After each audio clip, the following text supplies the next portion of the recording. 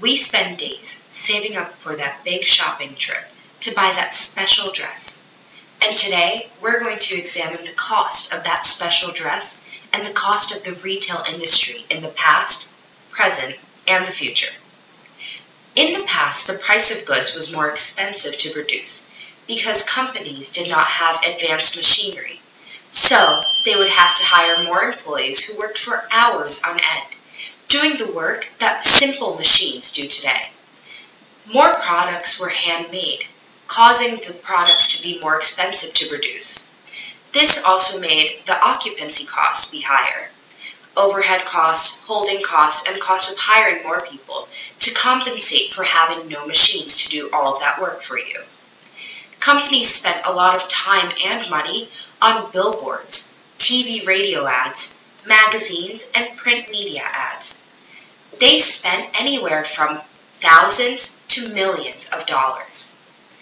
But today, since we have so much technology surrounding us and helping to ease our lives, the price of goods has gone down. It has become cheaper to produce goods because of new technologies. Now, companies do not need to hire as many people because they can just use these machines to make everything and sell a lot of these things.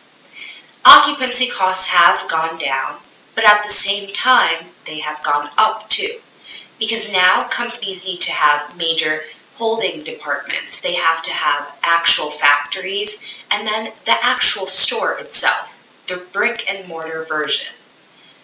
The marketing costs of the companies are more focused on digital and print, not as much as print media. Now the focus is on social media and online ads, which are targeted to you, the consumer. In the future, we don't know what will happen. But with new technologies such as 3D printing or new machines in general, producing goods is just going to become easier, cheaper, and faster. So the cost of producing regular everyday goods and clothes will be lower, whereas luxury goods that are handmade will be more expensive because that person's work and time is going to be more expensive than companies' work and time. The occupancy costs will also go down because we imagine that in the future, most brick and mortar stores will not actually exist. The focus will be just on online and retail shopping, where there will be no store, so you're actually just shopping from a holding area. Companies will only have this one holding area and factories, really. The marketing costs would also go down because now it's so focused on social media, and with ad blocking technologies, you can't really use any Facebook ads.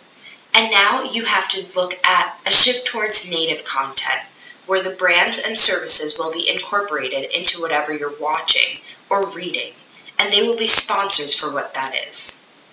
There's also price match guarantee, which displays transparency of prices for companies.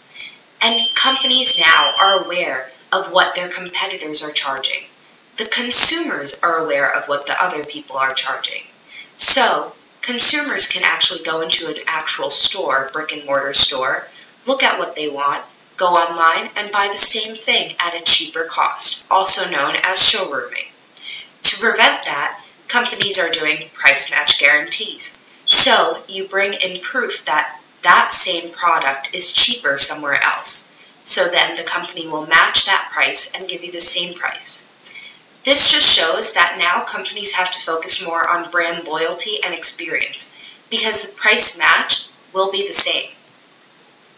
We don't know what's going to happen in the future and we can't really predict it, but retail will constantly be evolving and we just have to keep up with it with disruption and stay informed.